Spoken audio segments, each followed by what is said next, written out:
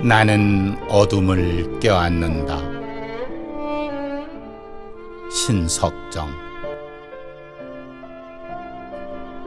밤과 함께 나의 침실을 지키는 작은 촛불이 있다. 그러나 그 촛불은 밤을 멀리 보낼 수 없는 약한 자이거니. 어찌 그를 믿고 대낮에 화려하던 나의 살림을 계속할 수 있을까? 그래도 작은 침실의 좁은 영토를 혼자 지키려는 잔인한 촛불이여.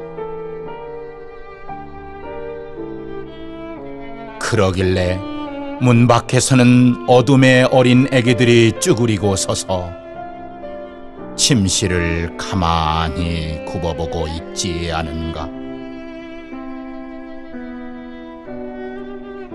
너는 새벽처럼 박지 못하기 때문에 너의 영토의 확장을 할 수는 없다.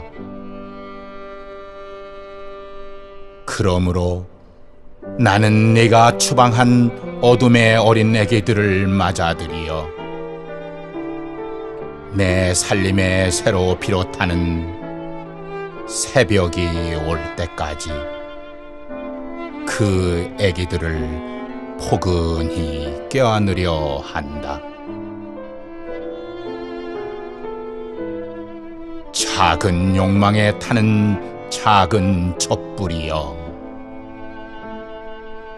이윽고 새벽은 내 뒤를 이어 오겠지.